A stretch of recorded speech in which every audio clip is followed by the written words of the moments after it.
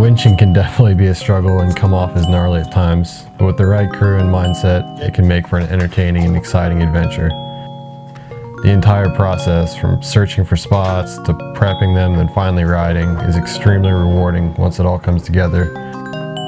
The stoke of finally getting the shot after all the hard work makes it all worth it and amps you up even more for the next spot to come.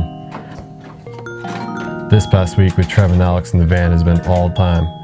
We put in some long days, got scraped up, but ultimately had the best time, and I wouldn't trade it for anything.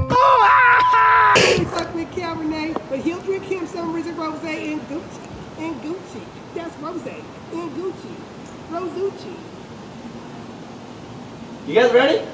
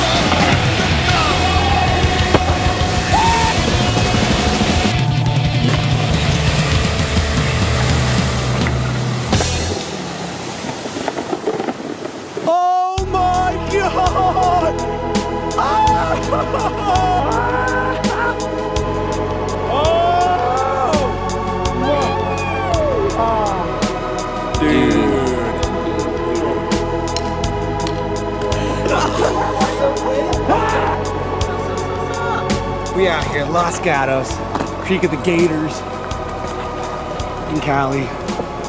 There's no gators, but Alex doesn't know that. Yeah, just stay there. I'm uh, picking up on those stuff. Oh, your land's sturdy.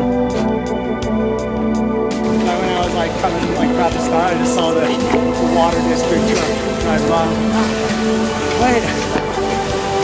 Next time.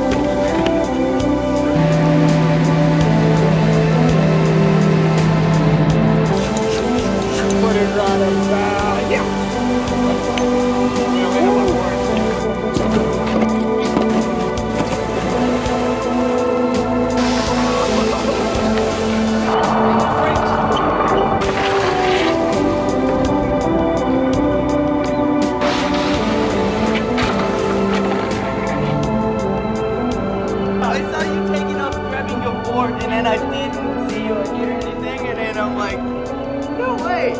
Oh. man, fuck you. Yeah, Griff! If it wasn't so slick right there, I would run out and hug you. It's real silly.